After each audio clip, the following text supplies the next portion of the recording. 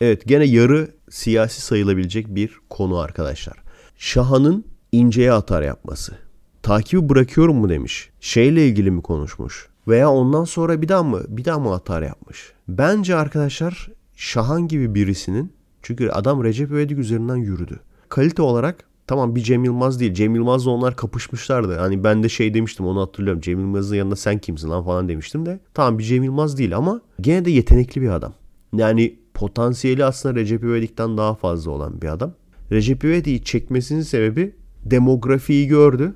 Dedi ki ben bunlara yönelik bir şey çekeyim. Ve Recep İvedik'in esas ünlü olma sebebi aslında çok iyi reklam yapılması. Çünkü onun haricinde ondan sonra benzer birçok şey çekildi.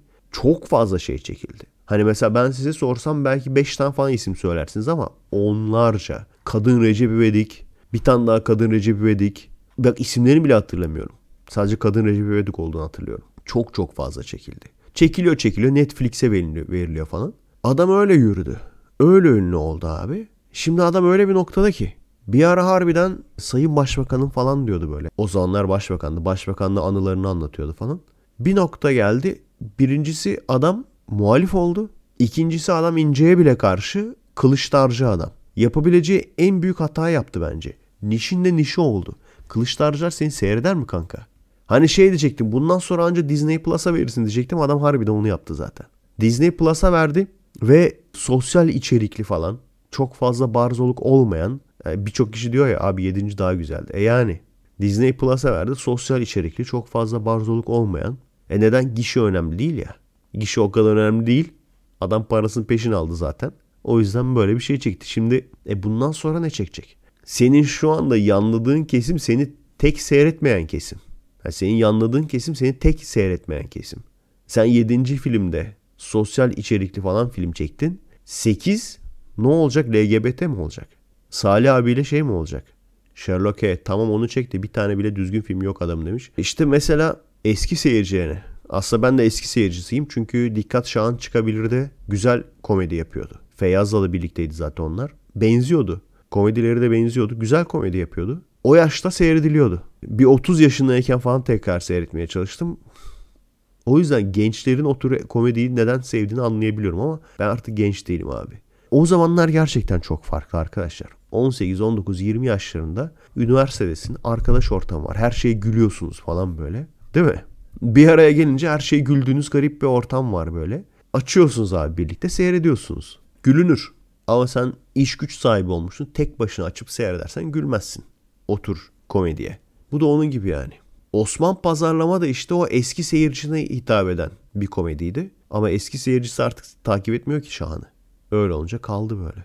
İsterdim Şahan'la da tanışmak isterdim. Belki günün birinde tanışırım ama tabii ki Cem Yılmaz'la tanışmayı daha çok isterdim. Salih abi derken Salih abla. Dikkat Şahan çıkarır efsaneydi aynen. Bak Rating Hamdi bile film çekmiş ya. Bu 40 yalan.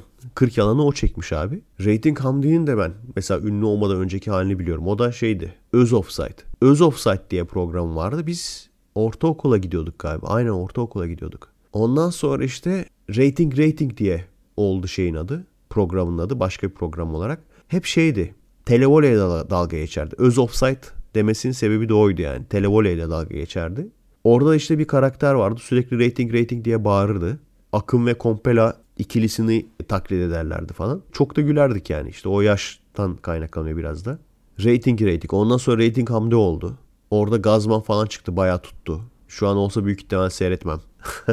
sonra hem ben büyüdüm hem de çok leşleşti. Bir tane kadını siyaha boyuyorlardı. Condoleezza Rice falan oluyordu. Hatırlıyorsunuz değil mi onu? Black facing falan. Şeyler de çok kötüydü ya. İşte o Fatih Yüreğin falan çıktığı dönemler. Skeçler falan çok kötüleşmeye başlamıştı yani. Ben şey dediğimi hatırlıyorum ya bu böyle olacak o kadardan daha iyi falan diyordum bir ara. Sonra iyice leşleşti ama.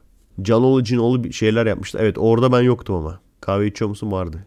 Yasemince vardı aynen. Bu arada Yasemin Yalçın'ın şeyi geliyor ha. Tiyatrosu geliyor İzmir'e. Ailecek. Ofansiflik başka seviye.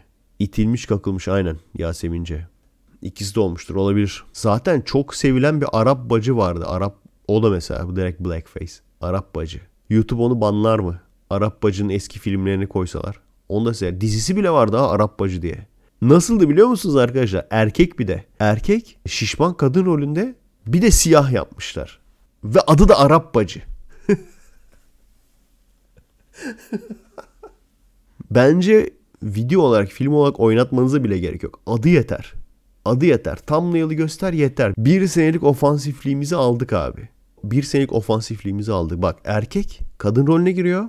Siyah boyuyorlar. Zenci kadın rolüne giriyor. Bir de böyle nasıl konuşuyordu ya? Yavrum falan böyle konuşuyordu. Bir de adı da Arap bacı. Condoleezza Rice ve Kofi Annan'ın karakterleri vardı. Birisi Esmera'ydı, diğeri erkek oyuncu boyuyorlardı demiş. Ben boyanmış Condoleezza Rice'ı hatırlıyorum sanki ya. Ha şey vardı mesela. Olacak o kadar da skeç vardı. İşte 100 kupona araba veriyoruz diye. 100 kupon geri getiriyorlardı. Şimdi size araba vereceğiz. Arap gel diyor. Ve Arap da gelmiyor. Zenci geliyor. Zaten Arap gelse o kadar komik olmazdı. Zenci gelmesi süper ofansiflik olduğu için bir tane şey koşucu böyle koşucu kıyafetleriyle falan böyle bir zenci geliyor. Alıyor götürüyor ondan. Bak diyor araba verdik. İşte bunu skeç olarak yapabiliyorlardı. Şu an yaptığını düşünsene. Bir kere zaten YouTube kanalım banlanır direkt. Direkt kapanır kanalım. Evet Gökhan Özoğuz da yazmışım aynı şekilde. O da gene İnce ile ilgili konuşmuş. Biliyorsunuz arkadaşlar bu aralar İnce ile ilgili konuşmak çok moda. Aslında İnce'yi koruduğumdan da değil. Harbiden şu anda %100 İnce'ye vereceğim diye bir şey de yok. Ben kime vereceğimi şu anda karar vermedim ama karar verdiğim zaman da insanlara söylemeyeceğim. İnsanları yönlendirmek istemiyorum açıkçası. Keşke şey olsaydı. Kafamda şöyle bir düşünce olsaydı mesela şuna verirsek abi hepimiz çok bir şey değişecek. Keşke öyle bir düşünce olsaydı kafamda ama öyle bir düşünce yok. O yüzden hiç kimseye müdahale etmek istemiyorum. Kimseyi de yönlendirmek istemiyorum. Herkesin kendi beyni, kendi kafası var. Versinler abi. Ben bir karar veririm, oy veririm, ondan sonra pişman olurum. Derim ki keşke vermeseydim. Olabilir. Herkesin kendi beyni var arkadaşlar. O yüzden ben insanları yönlendirmek istemiyorum. Ama benim kıl olduğum bu tayfa. Oylar bölünüyor tayfası. Adam çıkıp şey demiş. Gökhan Özoğuz abi. Kim olduğunu bilmiyorsanız Athena Gökhan abi. Athena Gökhan hiçbir Atatürk evladı inceye oy vermez demiş. Adamın şeyini biliyor musunuz? Tarikatını. Gökhan Özoğuz 2019 seçimine kadar muhalif değildi. 2019'da belediyeye yanladı. İBB ve ABB'den konserler aldı. Eurovision tarikatı mı Süleymancı demiş. Cerrahi tarikatı evet. Gösterelim abi. Buradan göstermesi daha zevkli oluyor. Ben bunu görmüştüm daha önce. Ciddi ciddi şey sandım ya. Ya böyle Photoshop'tur ya böyle benzer başka birisidir. Yok abi baya baya tarikattaymış adam. Ve böyle eskiden tarikatçı falan değil. Şu anda da galiba. Ben onu Purple Wix'i sanıyordum demiş. Yok gerçekmiş abi. Gerçekmiş.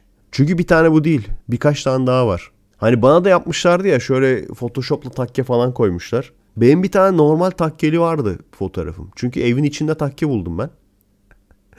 evin içinde takke buldum. Onunla bir fotoğraf çektirmiştim ama onu kullanmıyorlar. Gidiyorlar şey yapıyorlar. Photoshop'la takke koyuyorlar bana. Bir de tarikatın ismi de şey gibi ya. Uydurma isim gibi. Cerrahi tarikatı. Maklubi tarikatı falan der gibi yani. Bu adamın şimdi hiçbir Atatürk çocuğu inceye vermez demesi gerçekten komik yani. 14 Mayıs gelse de kurtulsak arkadaşlar şu saçma sapan kavgadan. Bir şey söylüyorsun, insanları yanlış yönlendiriyorsun. Senin yüzünden AKP kazanırsa senin yüzünden kazanacak falan diyorlar. O yüzden mümkün olduğu kadar konuşmamaya çalışıyoruz. Çünkü biliyoruz ki istedikleri sonuç olmazsa bu sefer milleti suçlayacaklar. Diyecekler ki siz konuştuğunuzda öyle oldu. O yüzden işte yani mümkün olduğu kadar konuşmamaya çalışıyoruz. Mümkün olduğu kadar konuşmadığım böyle oluyor.